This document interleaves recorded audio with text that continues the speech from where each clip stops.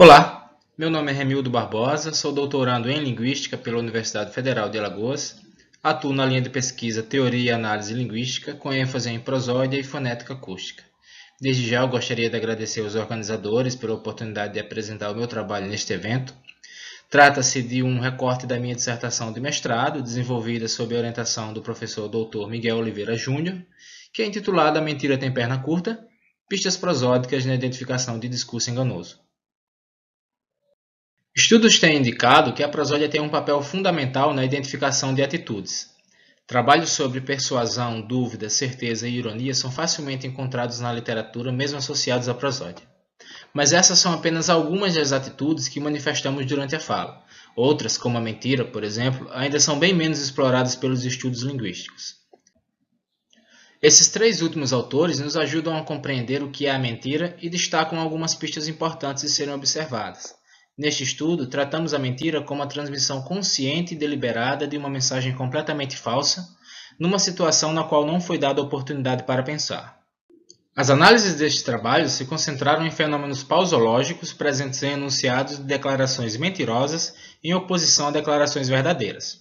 Especificamente, esse estudo analisou a latência durante a transição de turno de fala e a ocorrência e duração de pausas em enunciados mentirosos e enunciados verdadeiros. Duas perguntas comuns sobre os procedimentos deste trabalho são: como e para quem os participantes mentiram? Primeiramente, os participantes assistiram a um curta-metragem. Essas imagens são cenas do vídeo. Isso foi necessário porque os participantes precisavam mentir sobre alguma coisa e nós precisávamos saber se o que era enunciado se tratava de uma mentira para que pudéssemos validar ou não os dados. Posteriormente, em uma conversa com um assistente, os participantes responderam perguntas sobre elementos ligados à narrativa do vídeo. Cada pergunta pôde ser respondida enunciando verdades ou mentiras. A versão da resposta requerida era solicitada por slides em um notebook, como no exemplo deste slide. As análises acústicas foram executadas no PRAAT, onde pudemos anotar informações associadas aos estímulos, às respostas, à duração da latência e às pausas. Neste slide eu trago resultados sobre a latência de resposta. A média de duração da latência para uma resposta mentirosa foi de pouco mais de 2 segundos. Para a resposta verdadeira, a latência durou pouco mais de 1 segundo. Os testes estatísticos demonstraram que essa diferença é significativa. É possível que o maior valor da latência se justifique pelo fato de que, para dizer algo que não acredita ser verdadeiro, o indivíduo ainda não tem em mente uma versão alternativa e distorcida dos fatos, e por isso necessita de um período maior para fabricar o seu álibi. É importante considerar também a possibilidade de ocorrência de lapsos de memória, e que mesmo assim o participante tenha insistido em responder a pergunta. Aqui algumas considerações sobre a pausa. Esse fenômeno foi comum nos dois tipos de enunciados. Os resultados para sua ocorrência e duração não se mostraram significativos. No entanto, um estudo mais detalhado precisa ser feito. Ainda com base na ocorrência e duração da pausa, apresentamos seu comportamento ao longo do enunciado. Em preto, a versão verdadeira apresenta um padrão baixo-alto consistente de pausas. Isto é, a primeira pausa tem duração menor que a segunda, que por sua vez tem duração maior que a terceira, que por sua vez tem duração menor que a quarta, e assim por diante. Essa característica foi observada isoladamente em cada um dos enunciados, e o resultado foi o mesmo cerca de 70% dos enunciados apresentaram essa peculiaridade. Em vermelho, a versão mentirosa apresenta um padrão contrário ao que foi encontrado na versão verdadeira, isto é, um padrão alto-baixo e um pouco menos consistente. Ao fazer uma análise individual da duração da pausa, este padrão alto-baixo foi característico em 61,5% deles. É possível que os diferentes padrões apresentados nesses gráficos reflitam o controle do discurso por parte do falante. A ocorrência mais consistente pode refletir no controle da situação de fala por parte do participante quando ele falava a verdade, enquanto que a ocorrência menos padronizada pode estar associada à falta de controle. Esses foram alguns resultados da minha pesquisa. Este trabalho apresenta uma contribuição para os estudos linguísticos, sobretudo aqueles ligados à fonética forense, e além da contribuição para a linguística, outras áreas também se beneficiam de estudos como este, como por exemplo o das artes dramáticas, além de serem também um recurso bastante expressivo que pode ser explorado pela retórica e pela oratória. Aqui algumas referências. Obrigado.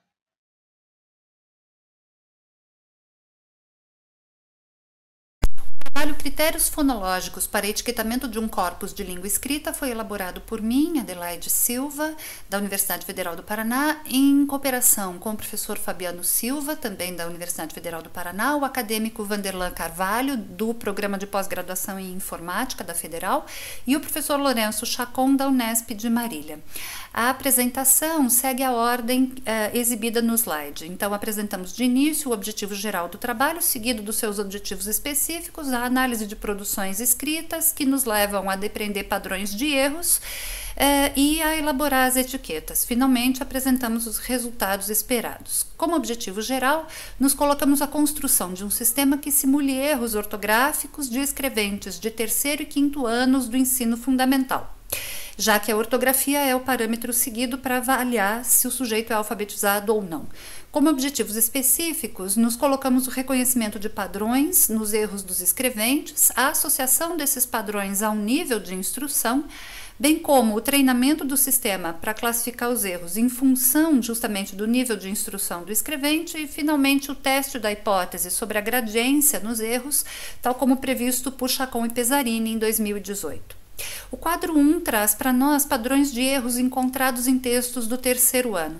Verificamos que as crianças apresentam, sobretudo, problemas para marcar a nasalidade da vogal, é, o que se materializa também na confusão entre a M e a. Além disso, as crianças trocam na escrita é, consoantes desvozeadas por vozeadas, bem como fazem o inverso. Exibem problemas com dígrafos e com grupos consonantais contendo R ou L como segundo membro. Já no quinto ano, verificamos os seguintes padrões: problemas uh, ao final de palavras com ditongo terminado na aproximante lábio velar, problemas com a grafia dos dois S e dois R's em meio de palavra, uh, o registro na escrita da redução do ditongo, de harmonia vocálica, de supressão do R em infinitivo verbal é, e da forma mais como conjunção adversativa. As generalizações possíveis a partir dos padrões de erros encontrados são que os textos de terceiro ano apresentam erros conjugados, ou seja, mais de um tipo de erro na mesma palavra. Além disso, os textos de terceiro ano têm mais erros, conforme esperado, e os textos de quinto ano, por sua vez, recorrem a estruturas silábicas mais complexas e estão mais próximos da norma ortográfica padrão. A partir das generalizações, tomamos então a palavra ortográfica como unidade de análise e aprendizado do sistema. Temos 45.561 delas e a escolha pela palavra ortográfica se justifica pelo fato de serem os domínios em que os erros ocorrem, é, especialmente considerando a sílaba no interior dessas palavras. É, tomar a palavra também nos permite observar relações entre sons da fala e grafemas e fazer previsões sobre essas relações. A partir das generalizações, criamos então um conjunto de etiquetas que contemplam fronteiras de sílabas das palavras, estrutura interna das sílabas, lugar do acento primário na palavra, o grau de acento e a classe da consoante. O quadro 3 traz para nós, então, todas as etiquetas, bem como ah, as classes de sons associadas a cada uma delas e a representação ortográfica que nós conseguimos associar eh, também às etiquetas e às classes de sons. O quadro 4 oferece um exemplo do etiquetamento, considerando palavras encontradas nos textos eh, do corpus. Nele, os colchetes marcam fronteiras de palavras e os parênteses fronteiras de sílabas como resultados esperados, nós eh, devemos poder, esse, esse etiquetamento deve poder se aplicar tanto a formas canônicas como aos erros e deve permitir agrupar os erros em classes.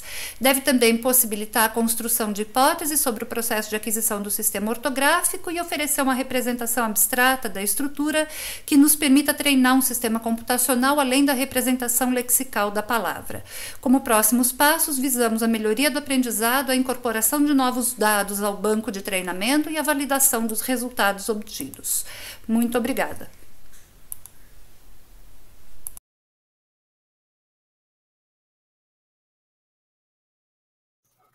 Olá, meu nome é Pietra Casal Ricati, eu sou bolsista CAPES e estou cursando doutorado em Linguística pela UFSC, sob orientação da professora doutora Manhãs Borges Mota. Eu também sou membro do Laboratório da Linguagem e Processos Cognitivos, o LabLing, e sou divulgadora científica no Instagram na página Língua Ciência. O objetivo da apresentação de hoje é expor um recorte da revisão de literatura da minha tese de doutorado, ainda em andamento, sobre leitura em português brasileiro por falantes nativos de crioulo haitiano. A consciência fonológica é um construto importante para o meu estudo, assim, a partir das minhas leituras, eu construí o panorama a seguir.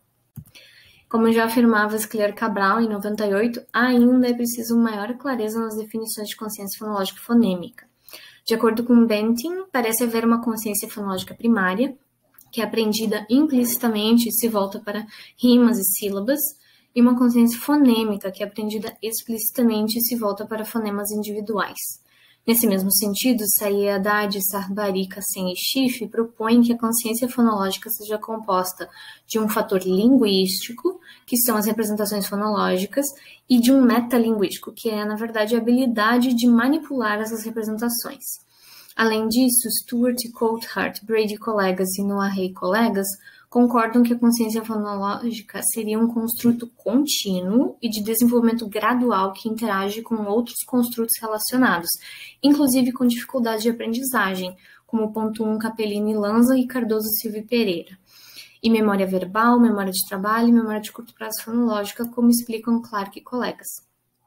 Assim, a consciência fonológica não pode ser considerada linear, e, como já afirmavam Turner e Nesdale, não é sozinha o bastante para desenvolver a leitura. Outra característica é que medidas de consciência fonológica compostas de tarefas que envolvam mais de um nível linguístico, morf eh, fonêmico, morfêmico, silábico, parecem ter resultados mais consistentes, como demonstram Brannon, Martin e colegas. Paralelamente, a maior parte dos trabalhos aponta para uma relação mútua entre consciência fonológica e leitura, apesar de alguns, como Wagner e Torgersen, defenderem um papel causal da consciência fonológica, ou um papel específico do conhecimento do alfabeto, como Moraes, o que parece variar entre sistemas de escrita, como aponta Lucatello e colegas. Infelizmente, Brady observa que a maioria dos estudos foca em consciência fonológica relacionada a sistemas de escrita alfabéticos. Dessa forma, Mann propõe que a consciência fonológica esteja mais associada à experiência linguística do que à experiência com o alfabeto, e no caso de bilíngues, creem que colegas indicam que esse construto parece ser mais forte na língua dominante. O'Brien e colegas ressaltam que ambas as línguas do bilíngue impactam o desenvolvimento linguístico, ainda que de formas diferentes.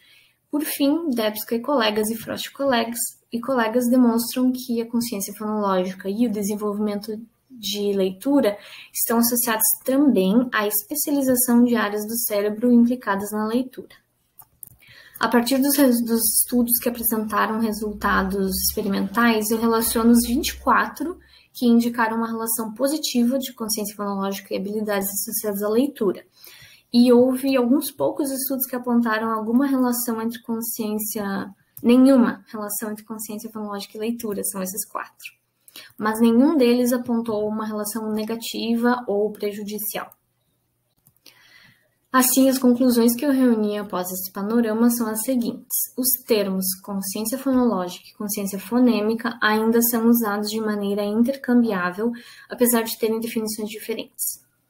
A consciência fonológica e as habilidades de leitura parecem ter uma associação mútua não linear, dinâmica e interativa que implica outros construtos metalinguísticos e cognitivos.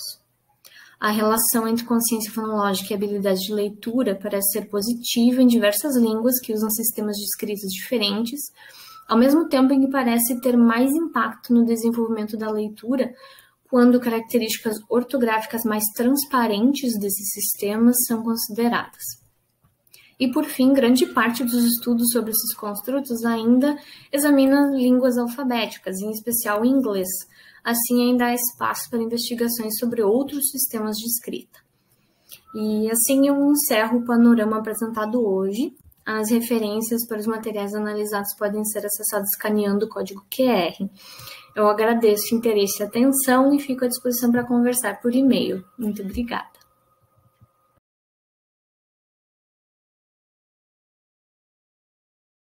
Olá, meu nome é Verônica e eu vou apresentar alguns dos resultados da minha pesquisa de mestrado, que foi orientado pela professora Beatriz Raposo. Um, o tema da pesquisa é a sincronização da fala, que é um fenômeno em que duas ou mais pessoas falam a mesma coisa ao mesmo tempo. Sua produção espontânea, ela é vista em protestos, em cânticos de torcidas esportivas, em orações, E quando nós trazemos voluntários para o laboratório e pedimos que eles leiam o mesmo texto ao mesmo tempo, nós chamamos de fala sincronizada. Os estudos mostram que as pessoas são capazes de sincronizar com bastante facilidade, sem nenhum treinamento, sem conhecimento prévio do texto e alcançando as sincronias entre si em média de 40 a 60 milissegundos, que é uma duração bastante curta.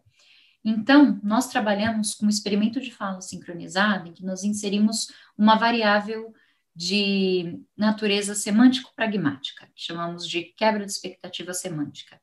E por quebra de expectativa semântica, por expectativa semântica, nós nos referimos a, essa, a esse fenômeno em que os falantes criam uma expectativa do que virá no texto com base no contexto criado. Então, a nossa questão era se os falantes teriam dificuldade para sincronizar lendo um texto que apresentasse quebras de expectativas semânticas. Com isso, a gente quer discutir a integração entre o motor e o sensório, pelo estudo da fala sincronizada, e também a integração entre o motor sensório e o simbólico abstrato, com a discussão sobre a relação entre a fala e esse nível semântico pragmático da linguagem. Para isso, a gente elaborou um experimento ah, em que os falantes leram dois textos em duas condições. Então, eram fábulas, nós fizemos algumas modificações nessas fábulas para provocar quebras de expectativa semântica, e nós coletamos dados de 26 pares, que foram divididos em dois grupos. Então, cada grupo leu a versão original de um texto e a versão alterado, alterada de outro texto, para que eles não lessem duas versões do mesmo texto. A nossa medida uh, é o lag temporal, que é medido em milissegundos. Aqui na figura 1, nós vemos as duas formas de onda dos falantes, e no text grid nós vemos as unidades VVs, que marcam o início de uma vogal até o início da outra vogal, e o lag é extraído a partir da diferença entre o onset dessas vogais. Primeiramente, nós olhamos para a distribuição geral dos dados, e nós vimos que não há diferença entre os lags médios da condição original e da condição alterada, mas essa diferença parece estar na dispersão, na variância dos dados, que é maior na condição alterada. Então, os, os falantes eles sincronizam bem e a maior parte dos lags estão ao redor dos valores médios que a gente costuma encontrar, por volta dos 50 milissegundos. Eles produzem as sincronias altas, ah, tanto na condição original quanto na condição alterada, como a gente vê com essa cauda longa dos histogramas, mas ah, nós vemos a produção de assincronias maiores, valores mais discrepantes, mais distantes da média na condição alterada. Então, nós olhamos mais especificamente para esses valores mais discrepantes, mais distantes da média. Nós vemos que não havia muitas diferenças nas médias, olhando para todos os dados, mas essa diferença é muito grande olhando apenas para os outliers, comparando as duas condições. E essa diferença é significativa. O desvio padrão, que já apresentou alguma diferença olhando para o conjunto de todos os dados, essa diferença fica maior ainda olhando para esse subconjunto dos outliers. E a gente vê essa diferença de dispersão observando a, o box plot de baixo. Ou seja, embora os falantes produzam assincronias nas duas condições, as assincronias produzidas na condição alterada são muito, são de duração significativamente maior, e eles estão dispersos uh, ao longo de valores muito maiores. Isso nos leva a concluir que a influência da quebra de expectativa semântica está na variância do lag temporal e na estabilidade dessa sincronização, e não na, na duração média do lag, exatamente, propriamente dito, porque os, a capacidade de sincronização dos falantes sobrepõe essa perturbação que nós inserimos ah, na tarefa de falar em sincronia. Um, essas são as minhas referências e muito obrigada por ter ficado até aqui.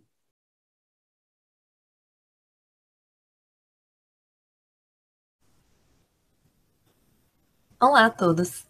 Aqui é Letícia Santiago Ferreira, autora da pesquisa De Tongos no Português do Libolo, Angola, Comparações com o Português Brasileiro, orientada pela professora doutora Flaviane Romani Fernandes Sveitman.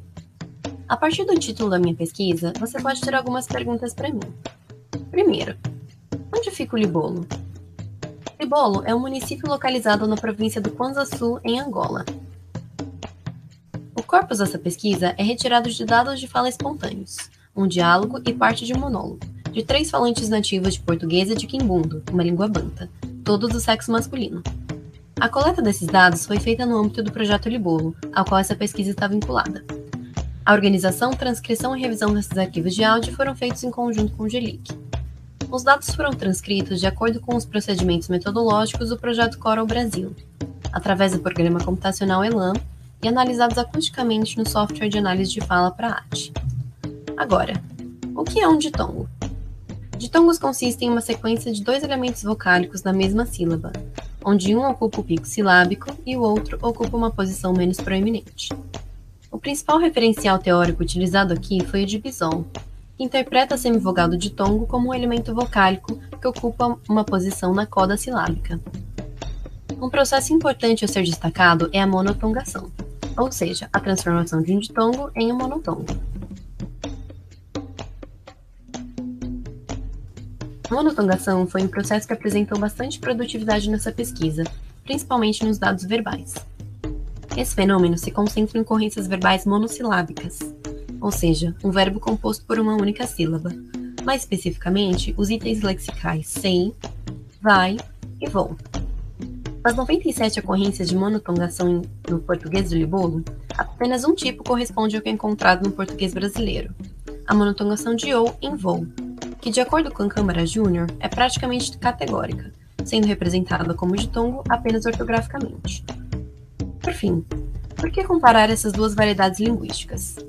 A proposição dessa comparação se baseia na hipótese de que variedades ultramarinas de português, faladas nas ex-colônias de Portugal, compartilham semelhanças fonológicas, na esteira do que já foi atestado por outros autores quanto a características morfossintáticas, além de estudos sobre aspectos fonológicos de variedades ultramarinas.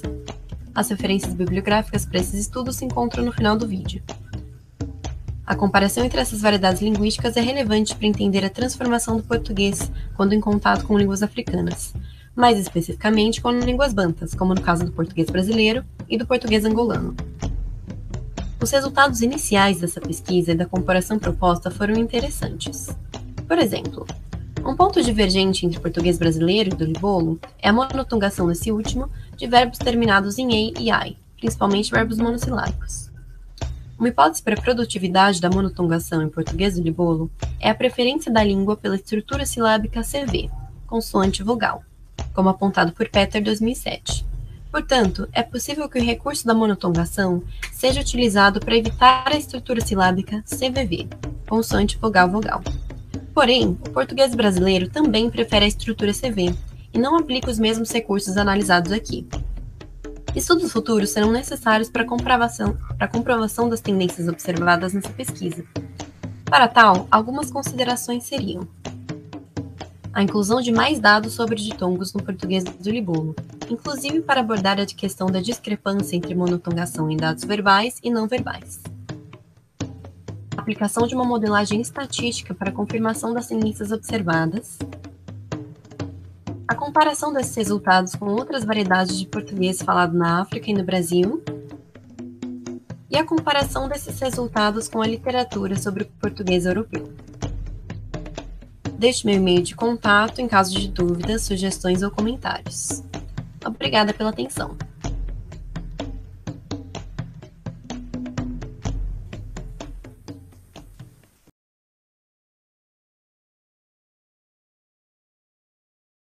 Hoje eu vou apresentar para vocês o trabalho formato prosódico inicial de dois pares de gêmeas, pontos dos encontros, que é de autoria minha, Laís Rodrigues Silva Bacorni, com autoria com a minha orientadora no mestrado da UESP em Linguística, a professora Maria de Fátima de Almeida Bairro. O objetivo do nosso trabalho é observar os pontos de encontros e desencontros no desenvolvimento dos formatos prosódicos de dois pares de crianças gêmeas, perguntando se esse desenvolvimento vai acontecer da mesma maneira em crianças que são gêmeas de um mesmo par e entre crianças que são gêmeas de pares diferentes.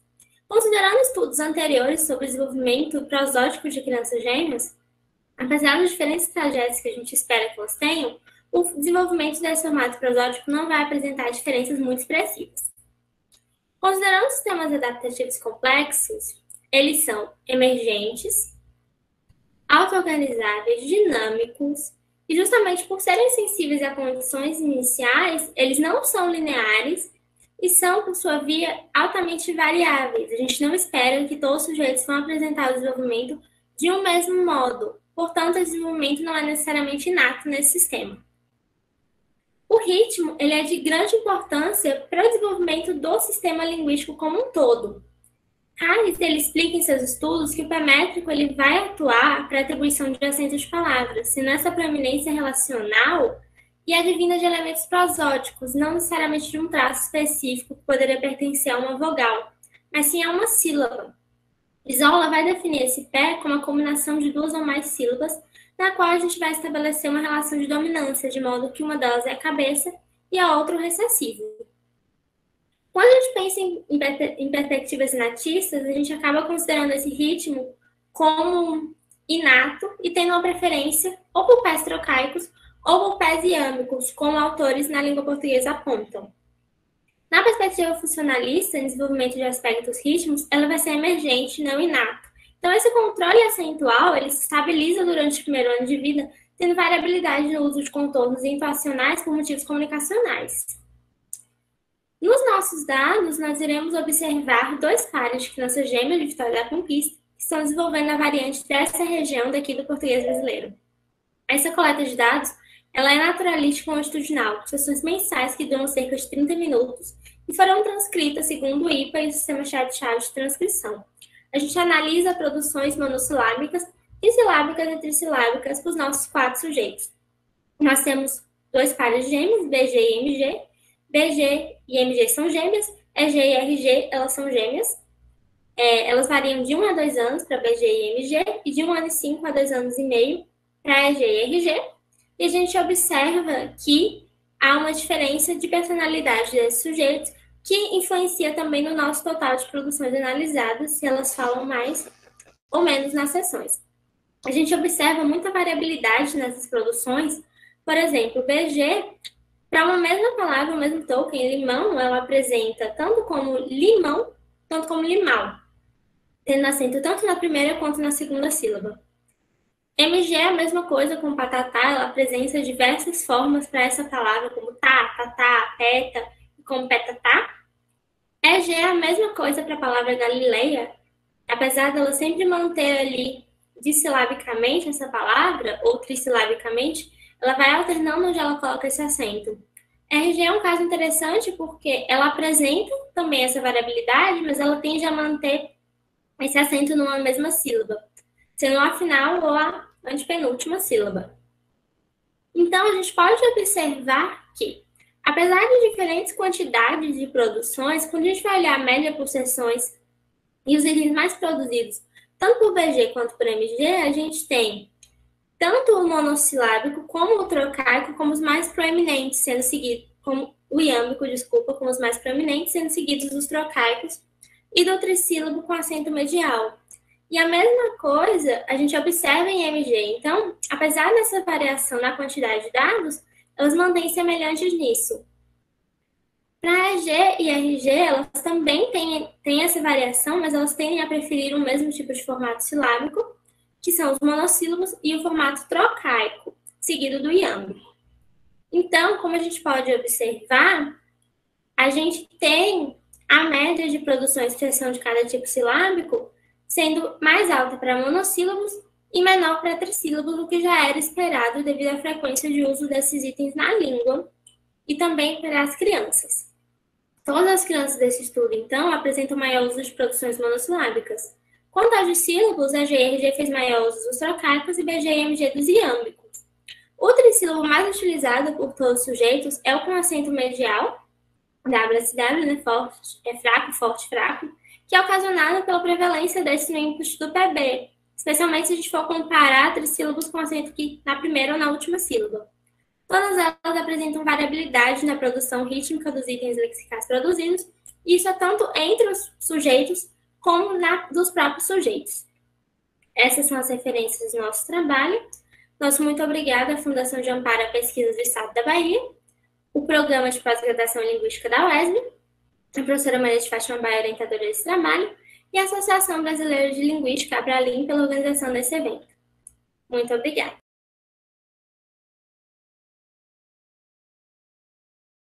Olá, meu nome é Lissa Pachowski e nesse vídeo eu quero apresentar brevemente o trabalho que eu desenvolvi em parceria com a professora Ana Ruth Miranda para esse evento online da Abralim, o Interab. Nesse trabalho, a gente tem como objetivo principal discutir acerca da representação fonológica das cordas mediais do português brasileiro, tanto do ponto de vista do sistema infantil quanto do ponto de vista do sistema adulto. A gente faz isso por meio da análise de dados de escrita inicial, ou seja, dados produzidos por crianças em fase de aquisição da escrita, estudantes de primeiro a quinto ano do ensino fundamental. Do ponto de vista do sistema adulto, se sabe que a composição da coda medial não é um ponto muito pacífico na literatura. Existem diferentes análises propostas. Uma delas, provavelmente a mais clássica, é a de Bisol, que admite até quatro segmentos consonantais em coda, mais os glides que nesse trabalho não são considerados para discussão. Outros autores vão discordar especialmente no que diz respeito à nasalidade medial, propondo uma representação monofonêmica ao invés de uma bifonêmica. Do ponto de vista do sistema infantil, o estudo de Mesomo, por exemplo, que é um pioneiro para a aquisição das cordas no português brasileiro, vai dizer que as crianças adquirem esses quatro segmentos consonantais em coda medial